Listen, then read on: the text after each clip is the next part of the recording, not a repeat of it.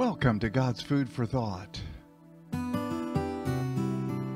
going to continue with having a psalm in your heart. You know, God used the writing of the Psalms to encourage his people. He's done that for over 2,000 years. The Psalms are a very powerful part of God's Word that declares God's triumphs over the, evil that tries to come upon us. Having a psalm in our heart is having a song of praise and thanksgiving that quiets our soul and lets us remember that God has already won the battle. In Psalm 103, verse 19, it says, The Lord has established his throne in the heavens, and his sovereignty rules over all. Remember, he is the one in whom we trust, the one who is sovereign over all. Verse or Psalm 100 verse 3 says know that the Lord he is God. It is he who has made us and not we ourselves. We are his people and the sheep of his pasture. In other words, this is God's world. He owns it all. He created it all. People get so forgetful and think that the world is more important than anything else. And today we're going to look at Psalm 9. We're going to be looking at verses 7 through 11 and then into verses 19 and 20. It says, But the Lord shall endure forever. He has prepared his throne for judgment he shall judge the world in righteousness. In other words, in total truth. There's no deceitful lying. It's all in His goodness and what's right.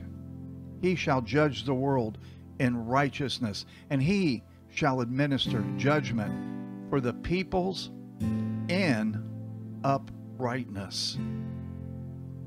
You know, it sometimes it seems like the the bad guys are winning all the time. But th- that's only for a very short time. God has the final say that will last forever. The Lord will also be a refuge for the oppressed, a refuge in times of trouble. In other words, a place you can run to, a shelter He's the one that you can always go to. That's having a psalm in your heart. Praising God and in truth that He is sovereign, that He has established His throne in the heavens and His sovereignty rules over all.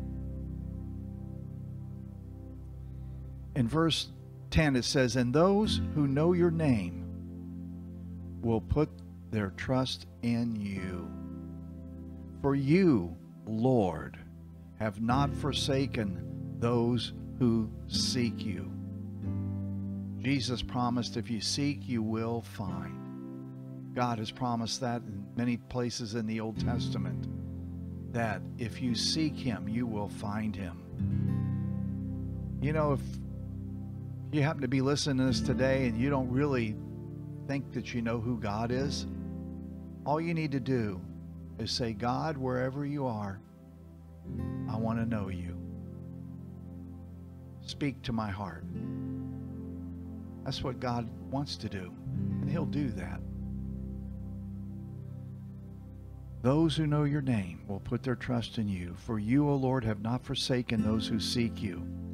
And then it says, Sing praises to the Lord who dwells in Zion. Declare his deeds among the people. So singing praises is actually has two parts to it. It's singing directly to the Lord, but it's also singing horizontally where, where we're encouraging one another.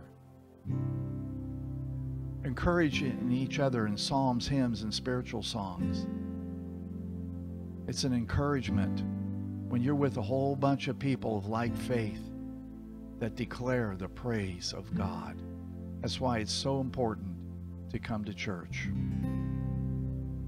We're going to skip down to verse 19. Arise, O Lord. Do not let man prevail. Oh God, we, we're, we're praying that right now. Let the nations be judged in your sight. Put them in fear, O Lord. They're so haughty, they're taking over everything. That the nations may know themselves to be but men. Think about that, Selah. You know, having a psalm in your heart is having God's word in your heart, having prayer in your heart, and having a song that praises God right in the center of your heart. I like that Psalm 103, verse 19, that we read at the very beginning that the Lord has established his throne in the heavens and his sovereignty rules over all. That will encourage you. Know that in Psalm 100, verse 3, that he is the Lord, he is God, he is the one who made us. We didn't do this ourselves, or we didn't evolve from the goo to the zoo to you. That didn't happen. God owns it all. Years ago, about 30 years ago, I was reading Jeremiah 31 and I wrote a song that contains some of those lyrics about God putting His Word within our heart. And I hope you enjoy this. I hope that as we sing this, it's a confession. I have your word within my heart. It's another way of saying, I've got a psalm in my heart. Well, we'll see you tomorrow, God willing. I pray that every day you're getting closer to Him having a psalm in your heart. God bless you.